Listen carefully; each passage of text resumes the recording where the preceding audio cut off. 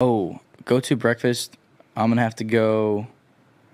I mean, if I'm feeling fancy, I'll go to Rocky's Deli. If I'm just hungover as shit and need something greasy, I'll go to Frank and Joe's. Or What are you What are you getting though? Uh, oh, what am I getting? Now where am I going? Uh, just bacon, egg, and cheese on a roll. Yeah, just the The Bobo is a game changer. Yeah. I can't wait to introduce my girlfriend to that.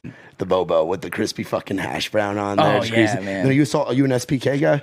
Yes, Yeah, Uh, I am too. every time salt, pepper, ketchup every single time. Yes, I'm, I'm a bacon, egg, and cheese guy. But I, there's something also special about that that um that bagel with just a pound of fucking cream, cheese, cheese. on it, yeah, bro. dude, I miss Just- a bagel too. Fuck, man, I haven't even had. I haven't even tried to find a bagel place down.